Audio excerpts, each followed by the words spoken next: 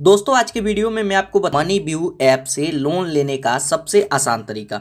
दोस्तों, अगर आप इंडिविजुअल है तो भी लोन ले सकते हैं। अगर आपका कोई बिज़नेस है, तब भी आप लोन ले सकते हैं। दस हज़ार से लेकर के पाँच लाख तक का लोन ले सकते हैं। और सबसे अच्छा बात, ये आरबीआई से रजिस्टर्ड है। मतलब इस पर धोखाधड़ी का कोई सवाल ही नहीं उठता है, ठीक है?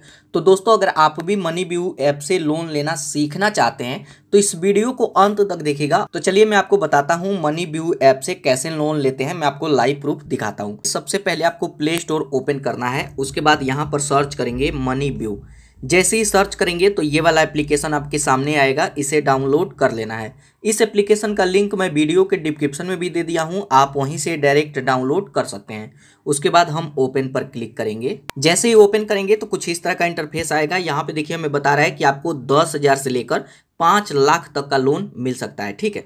उसके बाद हम आएँगे नीचे, यहाँ गेट स्टार्टेड पर क्लिक करेंगे। उसके बाद दोस्तों, यहाँ पर देखिए हमें परमिशन देना होगा तो अलाउ एक्सेस पर क्लिक करेंगे और इनको अलाउ करेंगे। चार बार यहाँ पे अलाउ करना होता है। जैसे ही अलाउ करेंगे तो कुछ इस तरह का इंटरफेस आएगा। यहाँ पे अपना एक जीमेल आईडी देंगे, यहाँ पे अपना मोबाइल नंबर डालेंगे। उसके बाद दोस्तों, यहाँ पे टीक मार्क लगाएँगे और कंटिन्यू पर क्लिक करेंगे। उसके बाद दोस्तों, यहाँ पर हमसे पूछ रहा है कि आप सैलरीड हैं मतलब आप कहीं पे जॉब करते हैं या फिर आपका कोई कंपनी है। तो जैसे मैं जॉब करता हूँ तो मैं इस पर क्लिक करूँगा। उसके बाद दोस्तों, इसके बारे में हमें कुछ डिटेल देना होगा। जैसे यहाँ पर अपना फुल नेम देंगे। जो भी आपके पेन कार्ड पे नाम होगा, वही नाम यहाँ पे देंगे।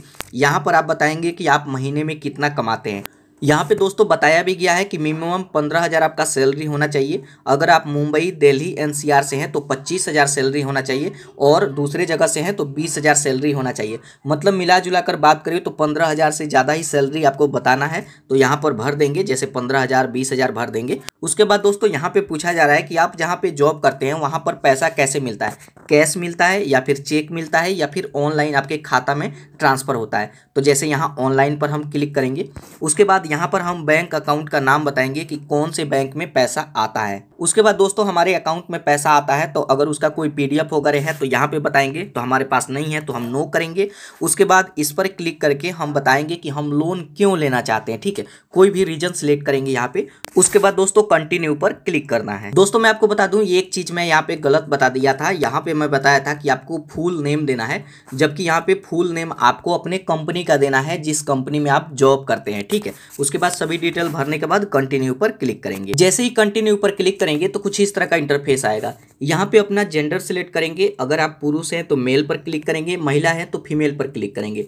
उसके बाद यहाँ पे फ़र्स्ट नेम देंगे, यहाँ पे लास्ट नेम देंगे। दोस्तों, जो भी आपके पेन कार्ड पे नाम होगा, वही नाम देना है। उसके बाद यहाँ पर डेट ऑफ़ बर्थ सेलेक्ट करेंगे। जहाँ पे अभी रह रहे हैं, वहाँ का पिन कोड यहाँ पे डालेंगे।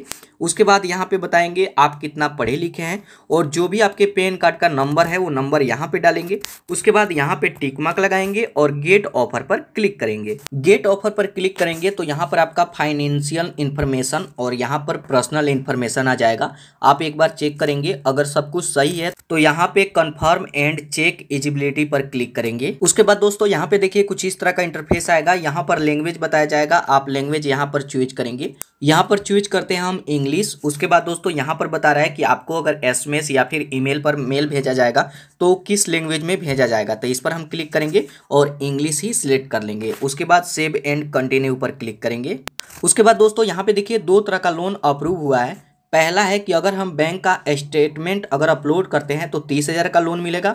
और अगर स्टेटमेंट डाउनलोड नहीं करते हैं तो सिर्फ़ दस हज़ार का लोन ही मिलेगा।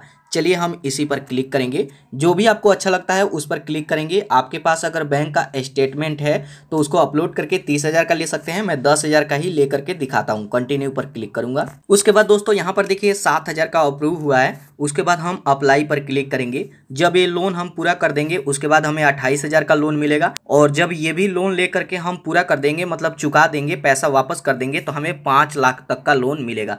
चलिए, सात हज़ार अप्रूव हुआ है। इस पर क्लिक करेंगे, अप्लाई नाव पर क्लिक करेंगे। उसके बाद दोस्तों, यहाँ पे देखिए बता रहा है कि सात हज़ार का लोन मिलेगा। अगर आप इसको और कम करना चाहें तो पाँच हज़ार तक कर सकते हैं इस पर क्लिक करके, ठीक है? उसके बाद तीन मंथ का ये लोन है। तीन मंथ में हमें चुकाना होगा। हर महीने दो हज़ार चार सौ सतासी रुपया हमें देना होगा, जिस पर एक सौ तिरपन रुपया का इंटरेस्ट है, ठीक है? उसके बाद अप्लाई पर क्लिक करेंगे। उसके बाद दोस्तों, यहाँ पे देखिए कुछ पर्सनल इन्फॉर्मेशन और हमें देना होगा। जैसे यहाँ पे फादर का नाम डालेंगे, यहाँ पे मदर का नाम डालेंगे, यहाँ पे इस पे टिक मार्क लगाएँगे। जहाँ पे अभी रह रहे हैं, उसका एड्रेस यहाँ पे डालेंगे। कंटिन्यू पर क्लिक करेंगे। छः घंटे से लेकर चौबीस घंटे के अंदर लोन अप्रूव हो जाएगा, आपके अकाउंट में ट्रांसफ़र कर दिया जाएगा। बैंक अकाउंट आप दे चुके हैं, अगर फिर से बैंक अकाउंट माँगता है कंटिन्यू पर क्लिक करने के बाद तो बैंक अकाउंट डाल करके सबमिट कर सकते हैं। इसमें छः घंटे से लेकर के चौबीस घंटे तक का समय लगता है। तो दोस्तों, इस तरीके से मनी व्यू ऐप से लोन ले सकते हैं।